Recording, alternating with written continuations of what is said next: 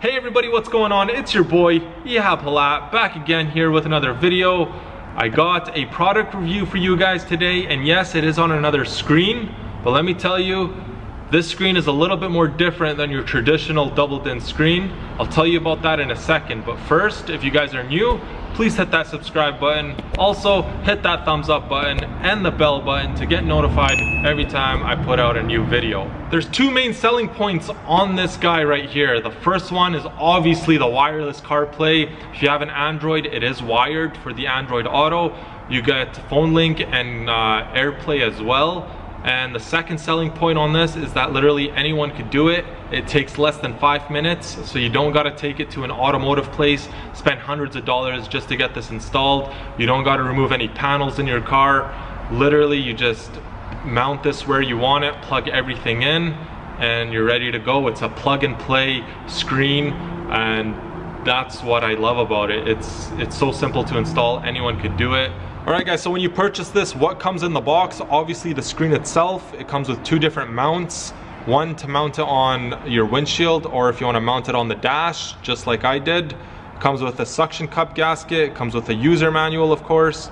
It comes with the power cord that plugs into the cigarette lighter to give it power. And it comes with a 3.5 millimeter audio cable to get the audio from this to come out of your car speakers. Here are a couple of the features that come on the screen here. It's got an SD card reader. It's got, an, like I said, an HD 1080p screen.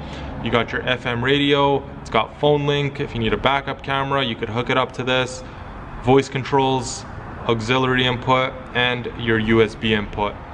So I got this installed in the vehicle, my Mercedes C-Class. I found the perfect spot for it. So if you guys got a similar vehicle like this, hopefully this will help you. And for anyone who does have a Mercedes, they know that the aftermarket screens made for the Mercedes C-Classes are literally $800 and up. So this is, a, is an alternative way to get a screen in your car without breaking the bank. I believe these go for about $300 Canadian.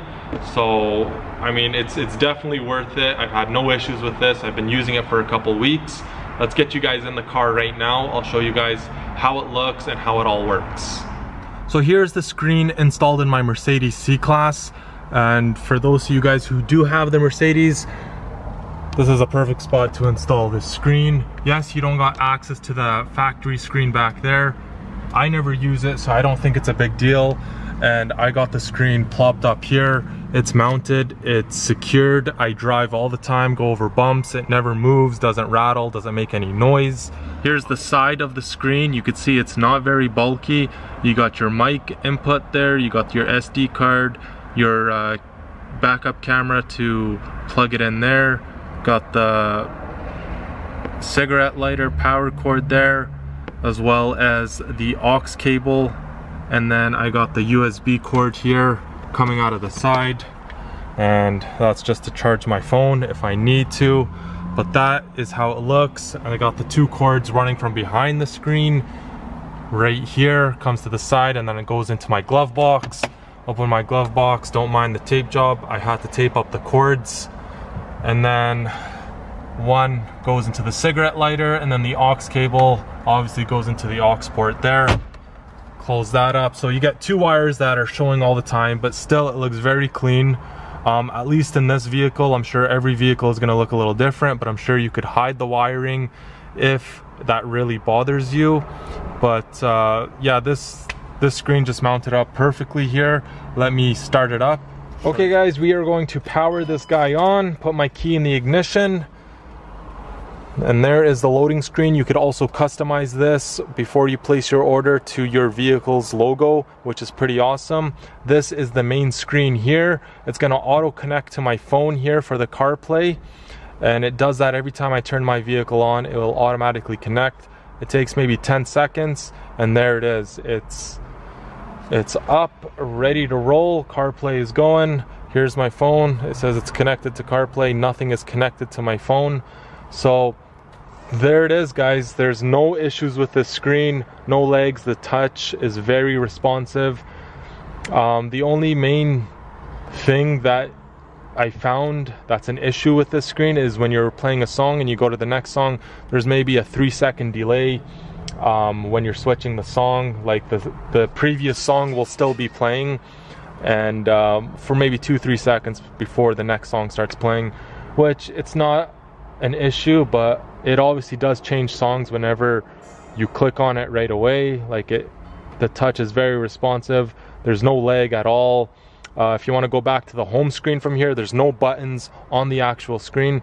So whenever you touch it, you see this little icon pop up. You click that and you can control it. Go to the home screen here. You could turn the volume up or down. You could also mute it. So you go to the home screen just like that. And there you go. So this is the main home screen here.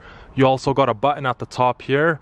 If you tap it once, it will mute the system tap it again, it will unmute it, and if you long press it, it will reset the system for whatever reason. So you got your CarPlay uh, logo up there, uh, Bluetooth, your brightness up here. I'm not sure what th this does here. Oh, it changes the background here. Um, there's a few different backgrounds. You could. There's a help icon here. Just tells them to email them. There's the home icon. So I'll explain these icons here. They're pretty self-explanatory though. There's the CarPlay. It's called iPlay. Uh, if you want to go back to it, you just click it. It'll go back, uh, back to the home. Next to it, you got the Android Auto. You got Apple AirPlay. You got Auto Link. Display off, which will just turn the screen off. You got Bluetooth connectivity. You got USB. You got an SD card. Your radio and a couple settings to tinker with. Nothing much. Uh, nothing much really in settings to tinker around with, just a few things. It's got built-in Wi-Fi here. Um, this is for your backup camera. You could set park line, all that stuff there. A couple things for Android Auto, iPhone, uh, language, device speaker. You could factory reset it and it'll show you the system version there. So there's not much to the home screen. That's all it really is. The main thing for this is obviously the CarPlay and the Android Audio. Um, did I say Android Audio? Android Auto. Um, but those are the main features for it. You only got two little uh, wires here that show in the vehicle, and everything's pretty much tucked away. Really good. Everything works as it should. No complaints with this thing. It looks very sleek. It looks like it's actually made for this vehicle the way it sits and how it fits so perfectly where it is. So I don't know what more I could say about this thing other than that, that it, it works absolutely awesome. No issues. You got your phone, music, GPS, everything now on the screen to control and zero issues at all. So guys, I think I'm going to end it here. I don't think there's anything else to say about this screen. If you guys have any questions, you could leave them down in the comment section below. I will be happy to help you guys. If you guys also have this screen, let me know what you think about it. And uh, I'd be I'd be happy to hear what you guys think about it because I want to know. Um, I've seen reviews online. Everyone seems to love it, so you can't go wrong with this. Go check them out, guys. www.carpuride.com. Go browse all their products. I'll leave the link in the description down below. Subscribe if you guys are new hit that thumbs up button. My name is Ehab Halat, and I will catch you guys in the next video. Peace out.